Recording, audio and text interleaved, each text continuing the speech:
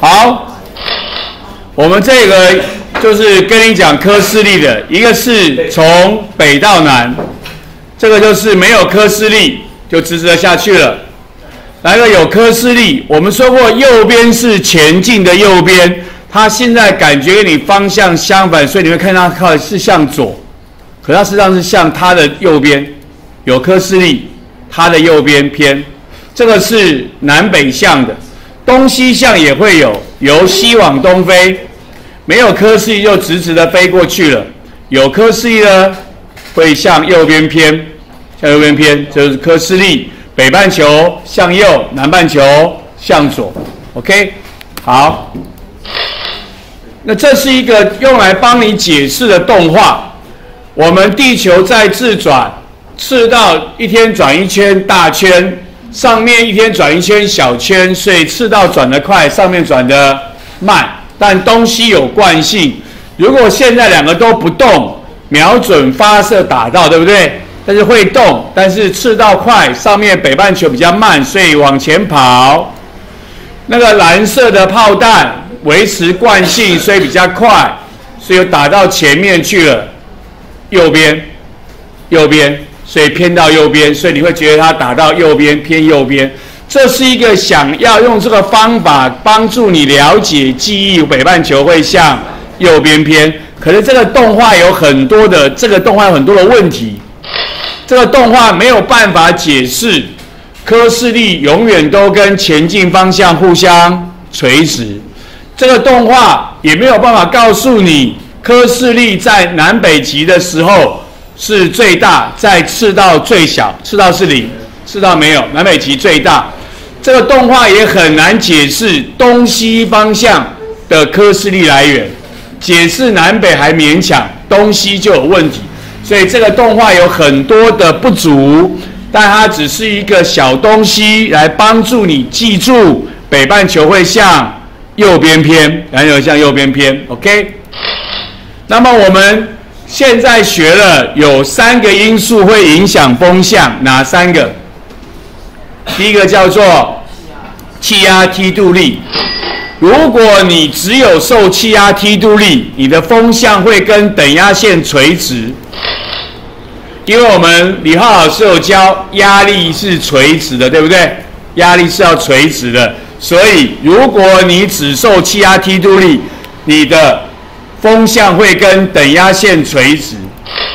如果你只受气压梯度力跟科氏力，最后的结果你会平行等压线。这个风叫做地转风。为什么要平行等压线呢？因为呢，我们的气压梯度力是垂直等压线的，而科氏力永远跟前进方向互相垂直。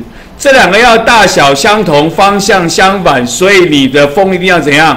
平行等压线，这样子科氏才会跟它方向相反。这种风叫做地转风，啊，地这种风叫地转风。地面上没有，因为地面上一定会有摩擦力，高空上才会有，天上才会有，只有受到科氏力跟气压梯度力的。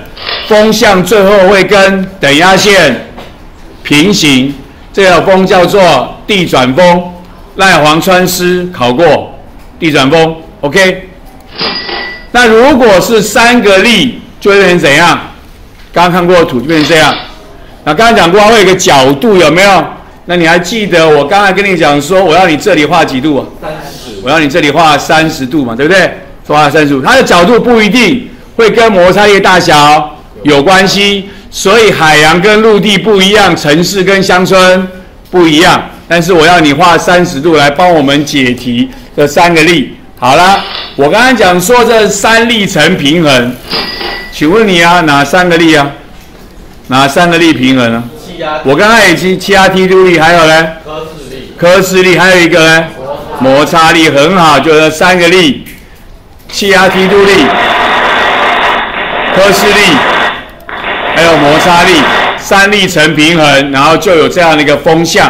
好，我叫你画三十度，这就是告诉你科氏力的一个结果，这个结果。所以我们再看一个这个动画，这个叫做指受气压梯度力。它这个红色的箭头就气压梯度力垂直等压线，所以直直的上去，垂直的吹上去。那么如果你只受到科氏力跟气压梯度力，科氏力永远都跟运动方向垂直，那就一直转，一转，一直转，转到最后变平行，像这样。好，这个有点像深是黑色，深色这样拉就会变平行，就变平行，因为它要一直垂直，它使它转方向，转到最后平行的时候，就会两个力量才会大相同方向相反。那再加上一个摩擦力，就像摩擦力跟前方相反，就会转转转转转到某个角度会达到平衡，就出去了，就会有个角度。那我这个角度我要你画三十度，画三十度。就是三个力量，三个力量对我们风向的影响，对我们风向影响，OK 吗？OK。